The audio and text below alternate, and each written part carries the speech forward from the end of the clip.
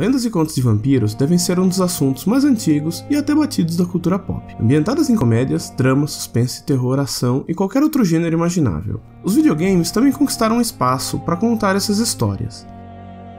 Existe uma linha tênue para a construção de um roteiro com personagens críveis e bem explorados, e outra história desinteressante. Tudo precisa ser bem escrito para que uma cena dramática não vire aquele filme de vampiros do Eddie Murphy. É preciso criar uma ambientação, contexto e, no caso do jogo, sistemas estruturados de gameplay e design são essenciais. Vampire possui em partes esses requisitos. O novo RPG de ação da Dontnod, responsável pelo esquecível Remember Me e pelo ótimo Life is Strange, possui uma premissa interessante e um protagonista complexo, mas escorrega feio ao conciliar tantos sistemas de uma vez só. Em Vampire, vivemos uma Londres pós-vitoriana no final da Primeira Guerra Mundial. As coisas não estão nada boas na cidade britânica. A falta de saneamento e infraestrutura assombra todos os distritos daquele povoado. As ameaças ficam ainda piores quando um surto epidêmico de gripe espanhola se espalha, provocando ainda mais decadência, principalmente entre os mais pobres. Nesse contexto caótico, assumimos o papel do médico chamado de Jonathan Reed, renomado especialista em técnicas de transfusão de sangue. Reed está de volta a Londres após três anos e já não reconhece mais sua amada cidade. Não bastasse o surto mortal de gripe, algo mais obscuro toma conta dos becos e ruas de Londres, e não demoraria muito para que Jonathan fosse uma das vítimas. O recém-chegado médico sofre um ataque de uma besta desconhecida que se alimentou de seu sangue, deixando-o para morrer em uma pilha de cadáveres.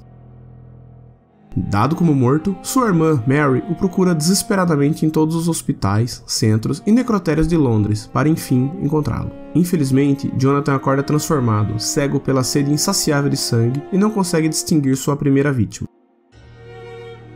Após saciar-se e retomar sua consciência, o pior lhe esperava: sua irmã, morta, em seus braços. Ao longo de sua jornada, Jonathan precisa desempenhar seu papel como médico no Pembroke Hospital, criar laços com outros profissionais e fazer parte de suas histórias, destrinchando vários subplots que o jogo oferece. Vampire conta com um acervo histórico interessante e com várias facções, desde a Sociedade Secreta dos Vampiros, o Ascalon Club, até a Guarda de Priwen. É inegável que o jogo conte um folclore rico e apresente vários tipos de vampiros e mutações, contando suas origens e entrelaçando com a história principal. Como Jonathan é um médico, o estúdio se preocupou em trazer uma visão científica da epidemia que assombra a cidade, recontando o início da medicina contemporânea e o posicionamento de Reed como homem da ciência, cético e à procura de respostas racionais para o que está acontecendo. A trama em sua essência é refinada e conta com uma grande maioria de diálogos de maneira consistente, te fazendo ter mais vontade de explorar e saber mais de cada cidadão e habitante de Londres. O sistema de relacionamentos é interessante, mas pouco explorado, onde os personagens e quests se misturam para contar uma história maior. Entretanto, nem sempre dá certo, e nem todos os diálogos são bem escritos. Se você já jogou The Witcher 3, por exemplo, sabe como é aquele jogo estritamente complexo, recheado de mecânicas de RPG como crafting, sistemas de equipamentos, armas, inimigos com nível, decisões de diálogo e a importância de suas escolhas. Não é difícil imaginar quão complicado é implementar tudo isso de maneira funcional dentro de um jogo. A programação tem que ser muito bem feita, caso contrário, não funciona. Em Vampire temos algo parecido: crafting, inimigos com nível, escolhas importam. Porém, fica claro que o jogo não contou com nem metade de orçamento de um RPG blockbuster. O combate e a movimentação de Jonathan e dos inimigos é travada e sem fluidez. Muitos dos ataques especiais da árvore de habilidades têm pouco ou quase nenhum feeling. Você mal sente que seu ataque, que deveria parecer super poderoso, tem um efeito realmente adverso nos inimigos. As mecânicas de esquiva e ataques em sucessão também não fazem muito jus ao que realmente deveriam parecer.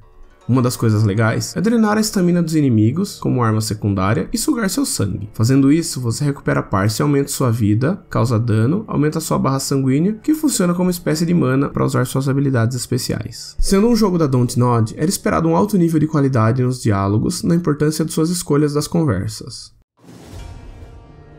Vampire apresenta uma Londres dividida em vários distritos, como a Whitechapel, as Docas, West End e outros. Cada distrito tem um nível de qualidade de saúde e o status de cada habitante.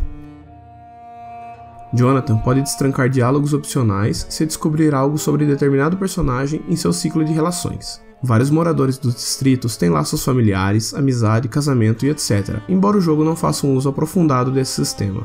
Assim como Life is Strange, suas escolhas importam, mas apenas em um nível levemente superficial.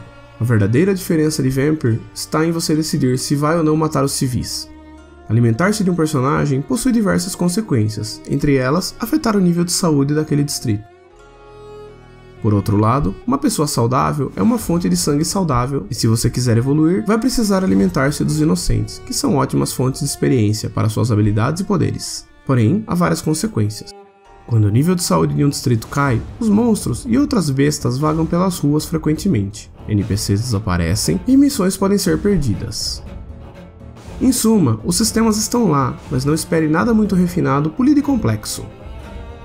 Desarme quaisquer expectativas para algo no nível CD Projekt Red ou BioWare, porque não é. Porém, mesmo com todos os seus defeitos, Vampire conseguiu me prender até o final. A recriação de uma Londres sombria e decadente me cativou, e depois de algumas horas, consegui me acostumar ao combate problemático. Jonathan conseguiu ser um personagem interessante, mesmo com sua eloquência forçada e pretensiosa.